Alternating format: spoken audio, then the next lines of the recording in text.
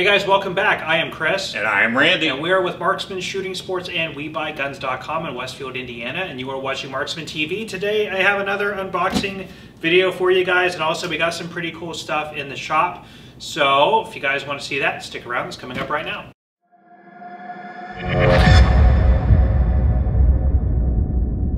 Alright guys, jumping into this, this video is coming a little bit later in the week. Back on Tuesday, we actually got a ton of firearms in, but we were so swamped we could not actually get the time to do a video for you guys. We were here till like 8 or 9 o'clock, even without filming a video, just unboxing everything, because it is always our priority to make sure that we're getting to things and informing the owners of the firearms the day that they come in, so people aren't sitting around waiting with, you know, trying to think about what's going on with that being said, a quick announcement at the head of this video is we are currently looking for a couple people to join our team and to come work with us. So Randy is actually in the process of uh, trying to find some people for that. So if you are in the area and you're interested in working with us at the fun establishment uh, Marksman Shooting Sports and WeBuyGuns.com. Please go ahead and email Randy. His email address will be down in the description uh, of this video. Uh, or if maybe you're not local, but you know some people who are local, uh, feel free. We're not looking for anybody to work remotely. We actually need people here to help in the store with a bunch of stuff. So um, again, look down in the description. So with that fun part out of the way, let's go ahead and jump into this video. Okay guys, first let's just talk about a couple that have come into the store recently and also some that we got in uh, on Tuesday that wanted to cover. But first of all, this one actually came into the store today. I actually am a big fan of these. I have one of these myself. This is a Century C308. Really built off of the CETME Model C pattern, 762 by uh, by 51 uh, NATO, so the 308 essentially. Um, these are actually put together or were put together by PTR Industries. They had a polymer stock in a wood stock configuration with the Navy uh, trigger group housing here, here, which is polymer. Mine I actually got on HK Parts, the um, semi-automatic uh, metal trigger group or trigger frame. Uh, so you can actually pick those up. They're kind of expensive, like two or three hundred dollars, but really cool. Um, these actually are really reliable in my experience and not super expensive. Uh, so anyway, I always really enjoy getting these in. Um, they've been kind of tough to get lately new, so really on the used market I see a bunch of them come in. Ah, blue box, Colt. Now this box is likely not original to the gun, I'm sure it's not. What we have here is a uh, six inch blued Colt Python. Uh, Colt released the Python in 1955. Um, it was kind of targeted at the police market, did not fare very well. It just, uh, quite honestly, was too nice of a gun. Um, and the price point was, was a bit high for uh, utility type use for the police market. Back in the first few years, um, these were all hand fitted by master gunsmiths. Uh, this is an earlier model. Um, 1959. 1959, fourth actually. Year fourth year production uh, in very good condition. Um, these uh, have, have, been very popular throughout the years, and the older ones like this uh, can be very valuable depending on the condition of the gun. So in 2020, they released the new one, uh, which a lot of people thought would put a squeeze on the value of these older ones, but watching the market, I haven't really seen that happen very much. So these really nice older, you know, blue or the nickel pythons are just still incredibly collectible. So really cool to get that in. So we got that in from a viewer through WeBuyGuns.com. And last up, this is actually a really cool one that came in from a local customer. This is an HK VP70Z, uh, which was actually came to the market from HK. If I can get this through here, I'll just show you inside the box. Uh, came to the market from HK in 1970 and was produced all the way up until 1989. This was actually the first really commercially successful polymer frame handgun, even predating the Glock firearms, two magazines.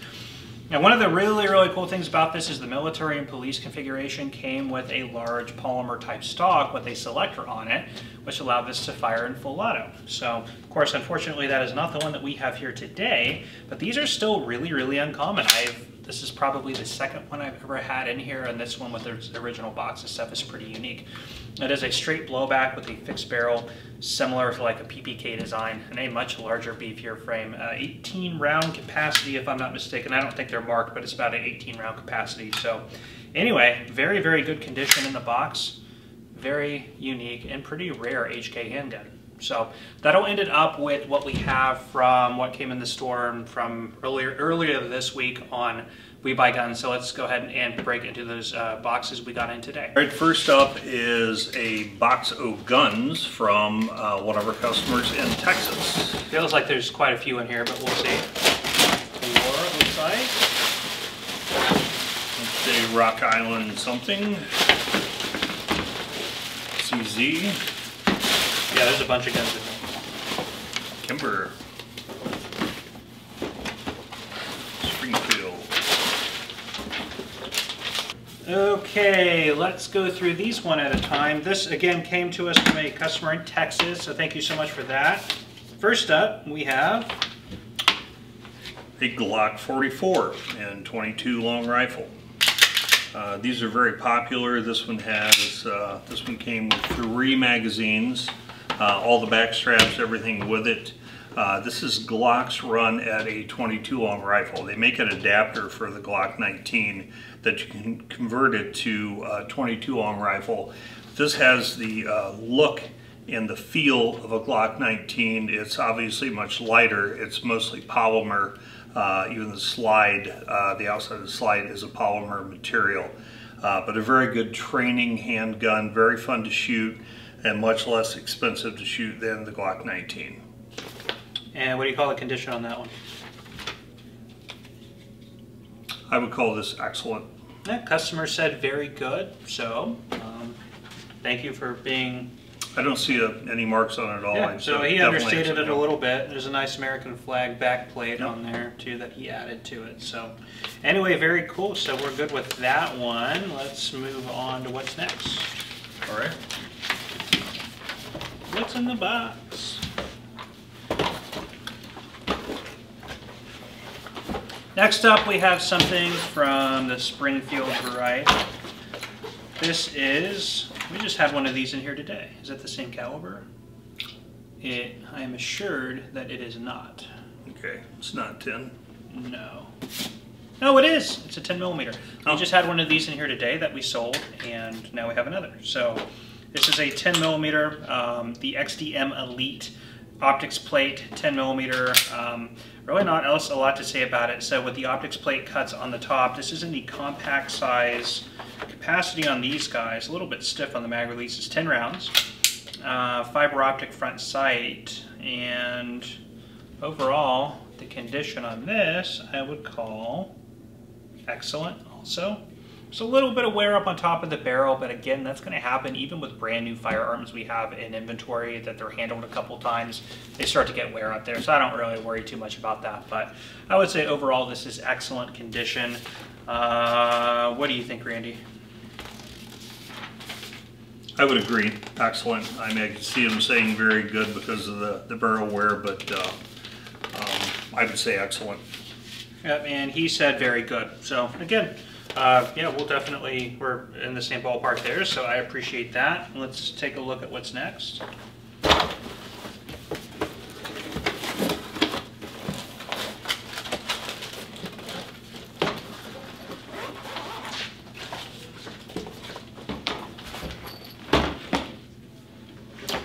We have a Kimber uh, K6S Target uh, revolver and 357 Magnum. Uh, these are beautiful guns, uh, beautiful finish, um, nice wood grips, very nice, very attractive. Uh, Fiber optic front side, adjustable rear. The Kimber came out with the K6 as is their introduction to the revolver line. Gosh, it's been about three years ago now. And they are very popular. They still don't get as much press as like maybe the uh, Smith & Wesson and the, even the Colt offerings. Uh, but for people who know what they are, I am a actually a really big fan of that revolver. Um, so I would I would put it up in comparison to things like the Ruger uh, SP101 in, in, about that size. The quality is there. You know, like a Smith revolver or uh, something comparable. So really cool revolvers. What do you think about the condition on that one? Uh, I would again say excellent condition on this. And he said excellent, and I agree with that. So yeah, even just looking at it from a couple feet away, it looks very, very clean. All right.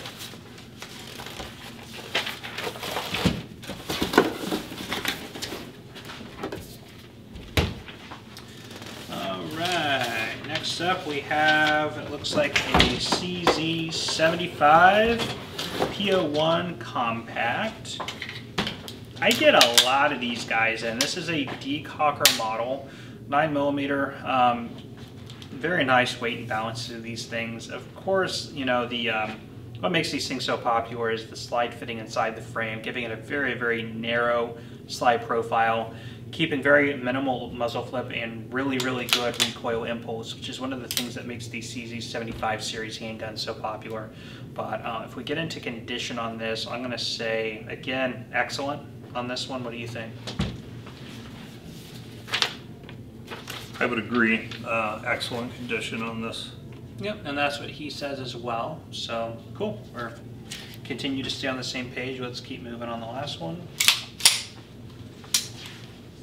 So here we have a Rock Island 1911. Um,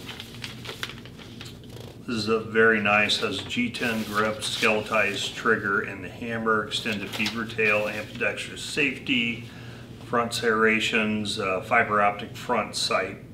Um, uh, you know, you know, I'm a big fan of 1911s, and I, I do not have a Rock Island, but I, every time I look at these, I think, you know, dollar for dollar, they're a very good value. I think for what you're getting, um, they're pretty rock solid.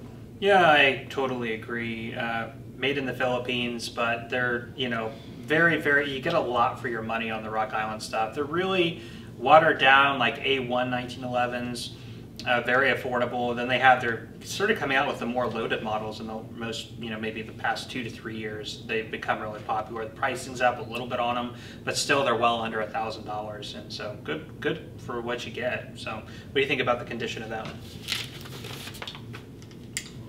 Um, I'm going to have to stay the course and say excellent. Yeah, that's what the customer said. So again, we're right on line there. Thank you so much to our customer in Texas for sending these to us, and we'll keep moving on. All right, guys, up next we have one that comes to us from Florida. So we'll go ahead and jump into this.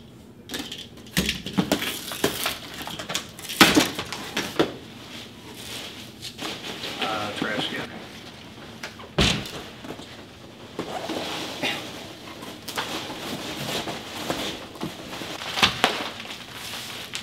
Throwing it back in there. Yeah. How many guys do we have? Looks like, Three, unless there's more than one I in think it's just three. One. Fine, shipping rag number one is,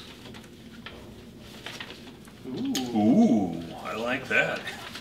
It's a Remington R1 1911 that has some custom engraving on it. Uh, it's a Centennial, It's a Centennial 1911 to 2011. Nice. That is very nice. So that's part of the R1 series, and yeah, it's yeah, the Centennial model. Very cool. And you're a fan of the R1. The Yes. R1s are 80 series. They've got the safety plunger, right? I got it. Yes, it's got Yes. The, you got the safety plunger in here, which is one difference between like a Springfield 1911. The engraving on that is actually really attractive. What do you think about condition on that? Uh, I would call condition excellent on this. Yeah, and I believe that's what the customer has said. Yes, and I agree. It's very, very oh, excellent condition. So Yeah, I am a fan of R1s. I, I have a couple. Uh, I have an R1S stainless that I carry quite a bit. Uh, it's kind of my go-to 1911. Um, Remington kind of got a bad rap because of you know the bankruptcy. There were a lot of quality issues before that. But I'll tell you, some of the 1911s that they put out, you know, prior to having those issues, especially the green box guns. yeah, especially the green box guns are awesome. And I, like I said, I own a couple of them. Um, they're very nice, very nice triggers even for an 80 series. Um, and they're just great guns. And they get overlooked many times because of the stigma of uh, what some of the Remington has now. Yeah. Cool. Well, let's move on to the next one. Go ahead and open it up. I'll put that in there.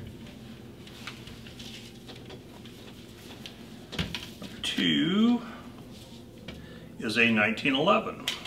1911 A1. Uh, this is a Springfield Armory.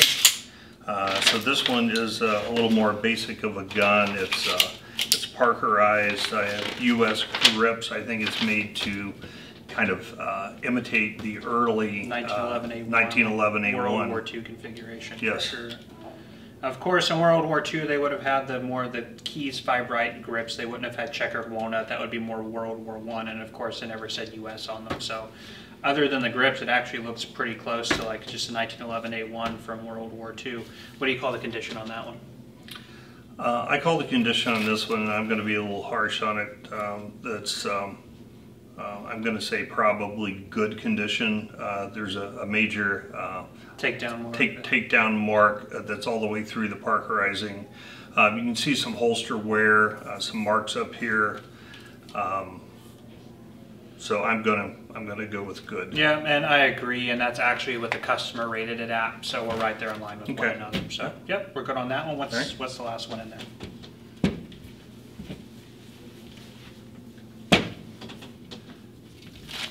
Well, to mix it up a little bit, Chris, we have a 1911. and uh, this one is actually my favorite Remington. Um, this is a 1911 R1S. Um, and I'll tell you, the, the finish that you get on these things for the price point is really incredible. Um, uh, I've been known to dress mine up with some custom grips, but um, yeah, the R1S, uh, everything I said about the Remington R1, uh, and it's stainless steel. So to me, that's a bonus. I like stainless steel guns. Yeah, and what do you rate the condition on that one?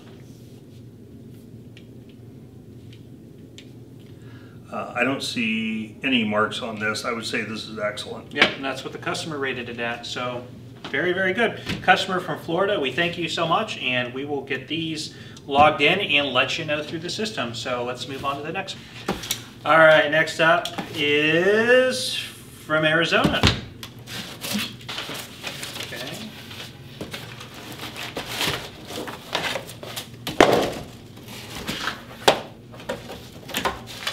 This is okay, yeah. This is Smith Wesson. This looks actually like an older one. This is a 22A1. These, gosh, I, the 22. Do you know much about these in the 22 Target? Not a lot. Um, the Smith & Wessons are the 22s They were I never got replaced. The the um, these did not have that great of a reputation, the A-ones, and they are not very expensive on the market. These were what was did these replace the Victory or the Victory? No, the Victory replaced this. Yes. Yeah. So the Victory is what is out now, not these.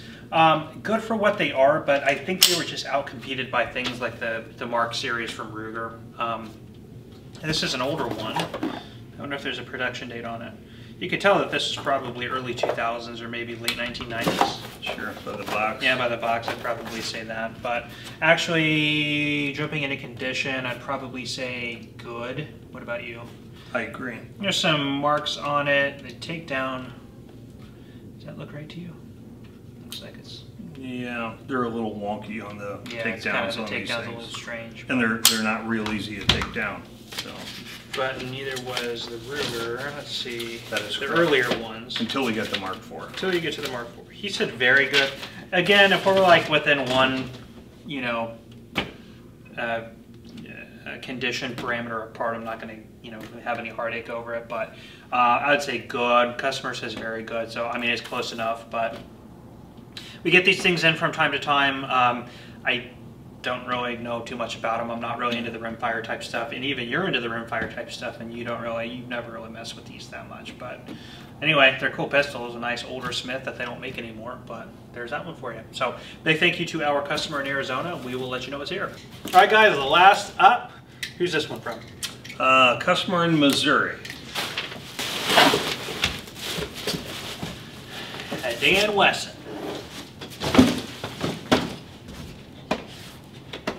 I know what this is. Ooh, It's 1911 Day. That's what we'll, 1911 day. that's what we'll title it. You know that I like that. I like the sound of that. I like the sound of that.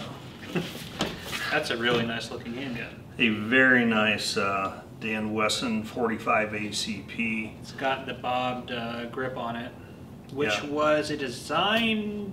It was developed by Ed Brown, I believe, on the bobbed grip. I always Mhm. loved that look on 1911s. Smith Wesson incorporates that a lot on their E series guns. Of course, you get them on the Ed Browns, like the Kobra Carry. But yeah, I love the look of that. That's a nice looking handgun. Yeah, it has the uh, the match grade barrel. Uh, I'm sure the, the bushing is matching. Uh, this is the classic series. Uh, some very very nice wood uh, on the grips and an excellent finish on the gun. And this, yeah, the Dan Wesson, yeah, classic. Yeah, Smart Classic isn't on on the other side. Yes, smart yeah, it's the classic line. Um, commander size, four and Yes. a quarter inch. Yeah. Mhm. Very cool. 45 ACP. Did we go over that? Yes. Okay. What do you rate the condition? Um, even though there's some wear on the barrel, um, that's normal. Uh, looking over the rest of the gun, I would have to say it's in excellent condition. And I would too, and that's what the customer rated it at, and that's a really cool handgun. So that's a good note to end this on.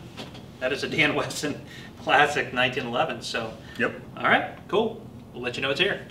All right, guys, well, that is all we have for you today. Thank you so much for joining us on this video. If you enjoyed, as always, please give us a thumbs up. If you have any questions, leave those down in the comment section. But we're going to go ahead and leave it off with that. So, with that, I am Chris, And I am Randy. and you're watching Marksman TV. We will see you next time.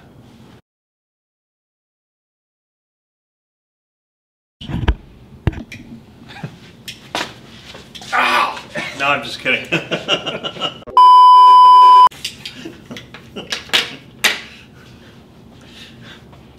Running with scissors and playing with knives.